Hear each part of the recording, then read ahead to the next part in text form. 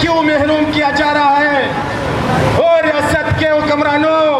د پیر دوشنبې په ورځ د کراچۍ پریس کلب مخې ته ریړۍ یا ټیلې په تارې چلوونکو احتجاجي غونډه کړې چې پکې د پښتانه ریړیبان یا ټیلې په تارې چلوونکو سره د بیلابیلو سیاسي ګوندونو غړو ګډون درلود دغه احتجاجي غونډې ته په وینا کې د صدر بازار هاکر یا ټیلې په تارو اتحادیې تنظیم غړي اسحاق اچکزي وویل چې د کراچۍ صدر پولیس غریب ریړې یا ټیرې چلوونکي ځوروي او د ورځنۍ مزدوري کې ترېنه برخه غواړي. دی دا نه غواړي چې ریړۍ دې ختمې شي، دی دا غواړي چې و موږ ته دې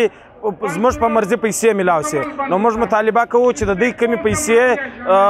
د دوی په ذهن کې چې کومې پیسې دي هغه پیسې دا غریبان نسی پر کولای دلته خلګه د سار صدر ماشامه پرې زر پیسې نس کولای دی 15 15 سار په بتاجن غواړي موږ د دې شار د دې ملک وسیدونکو یو د دې ملک خلګه یو موږ خواس کوو د دې سره چې د ازمج روزګار دی او موږ ته په قانوني طریقه باندې راکې وینا کوونکو ویل چې کراچۍ د پښتنو د نړۍ ټول نه لوی ښار یادېږي خو بیا هم دلته پښتانه په مختلف ډول کې ځورول کیږي کله یې ژوند او سر ته خطر وي او کله د معاش ګټلو حق نه ورکول کیږي د پښتون تحفظ مومنټ د رابطه کمیټې غړي سرور کاکړ په خپلې وینا کې ویل چې پښتانه په خپل وطن کې نا امني سره مخ دي او بیا چې کراچۍ ته د مزدورۍ په لټه راشي نو بیا دلته د پولیسو لخوا ځورول کیږي چې زموږ روزګار ته نقصان رسوي زما معیشت ته زما بچی ته زما تعلیم ته زما وطن ته اور لګوي موږ چې شو خلاف یو دلته د پښتنو ډیر لوی لوی آبادی دي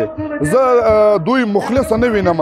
ریاست او ریاستي ادارې د دې ځای یا زورور کوتونه مخلص نه وینم چې دوی د موږ تاغه د انسانانو چې کوم حقوق دی هغه درل راکې دوی الټه د پښتنو په علاقه کې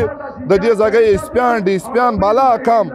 په اراده باندې دوی زموږ څخه الټا زموږ چې کوم کاروبارونه دي هغه باندې دوی نظر دي په یو باندې په بل باندې باندې دوی دغه ځای بتی اخلي د صدر بازار تاڼې مشر عرفان د کیمرې د مخه نه راتلو په شرط دیو سره خبرو کې ویل چې دوی کم قانون نه لري کار نه کوي او کمې ټیلې په تارې چې غیر قانونه دي د هغو خلاف کاروایی کوي اس ایچ او عرفان نور وایي د غیر قانونه ټیلو پتارو پر خلاف موږ ته د صدر بازار اوسیدونکو د خوا خواستونه راځي چې دوی ته د ټیلو پتارو د وجې تګ راتګ کې مشکلات وي ذوالفقار بټنی وایس اف امریکا ډیوه کراچۍ